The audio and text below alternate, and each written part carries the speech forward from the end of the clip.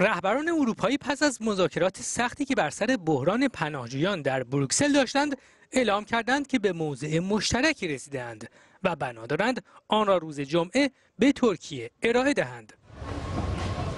این در حالی است که برخی گزارش ها از عدم حصول توافق رسمی و صرفا موضع مشترک میان این کشورها حکایت دارد آنگلا مرکل صدر اعظم آلمان ضمن تاکید بر حمایت از یونان در این زمینه گفت از یونان نه فقط در ارتباط با بازگشت مهاجران غیرقانونی به ترکیه بلکه در مورد وضعیتی که در این کشور وجود دارد نیز میبایست حمایت شود ما همچنین برای ایجاد سرپناه برای پناهجویان در یونان به بودجه نیاز داریم.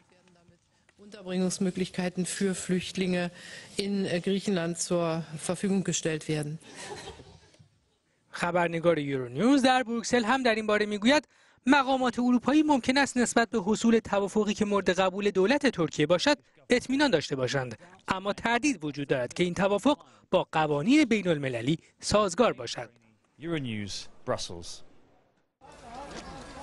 در حالی که نتیجه مذاکرات رهبران اروپایی درباره بحران پناهجویان همچنان در حالی از ابهام قرار دارد هزاران پناهجو شب سرد دیگری را همراه با ترس و امید در مرز یونان و مقدونیه سپری می کنند بعضی از آنها از این بلا تکلیفی به سطوح آمده اند مردی که از حلب آمده می‌گوید اتحادیه اروپا میبایست این مشکل را برای ما حل کند.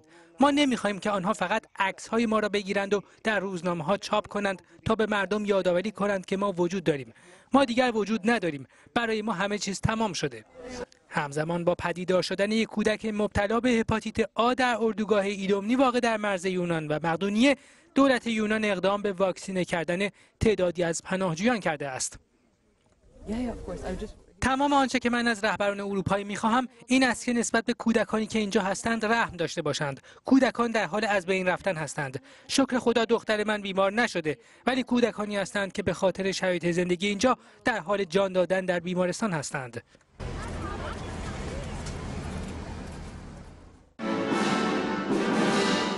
ولادیمیر پوتین رئیس جمهوری روسیه از خلبانان شرکت کننده در عملیات نظامی این کشور در سوریه تقدیر و تشکر کرد. آقای پوتین در مراسم اعطای مدال به خلبانان گفت که روسیه به ارتش و نظامیان خود افتخار می کند.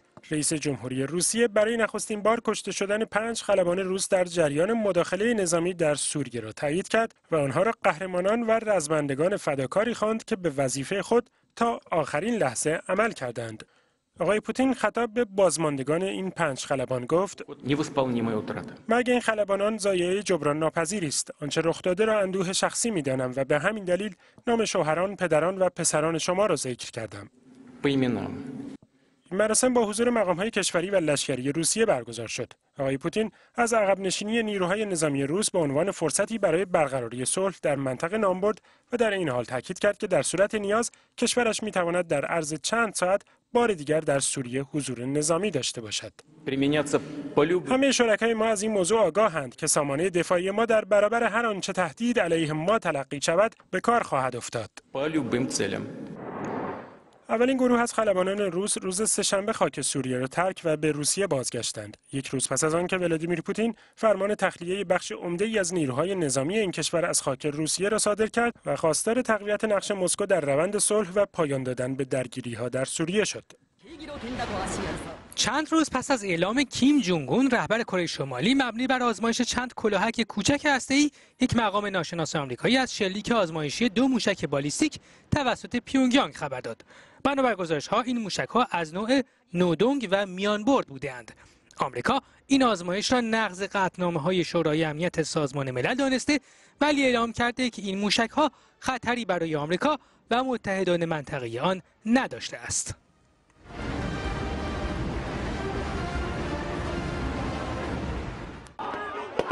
برازیلیا پایتخت و شهر ریو دو ژانیروی برزیل پنجشنبه شب نیز شاهد تظاهرات و درگیری مخالفان و هواداران دولت بود.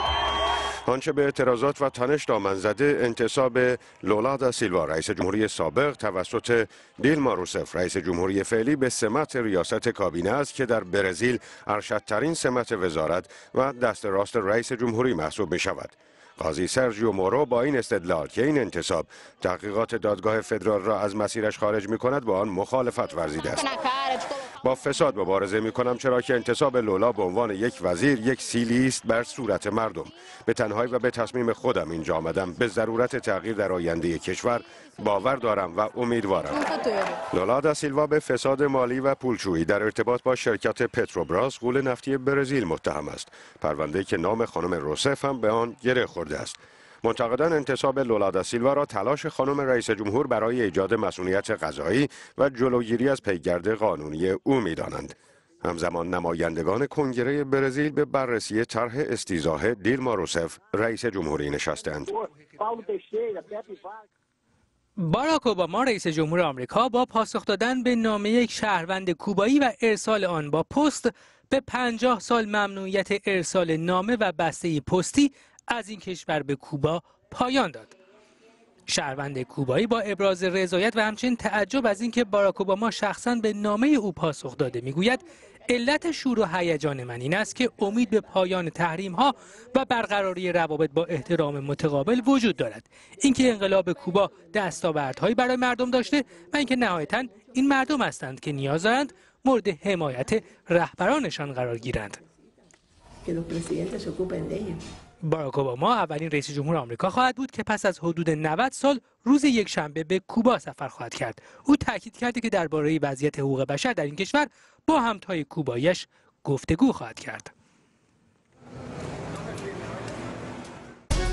دادگاهی در نیویورک مفید الفقیه شهروند 32 ساله آمریکایی را به خاطر تلاش برای جذب جهادگر به نفع داعش به 22 سال و نیم حبس محکوم کرد. این حکم طولانی ترین حکم حبس برای یک شهروند آمریکایی حامی این گروه محسوب می شود.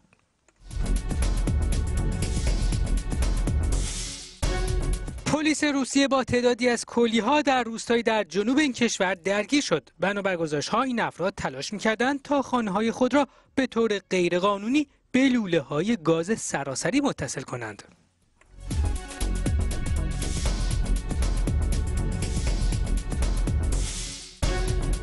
هزاران نفر در هند با ریختن پودرهای رنگی به یکدیگر آمدن بهار را جشن گرفتند. این جشن سنتی همه ساله در بارسانا واقع در شمال هند برگزار می شود.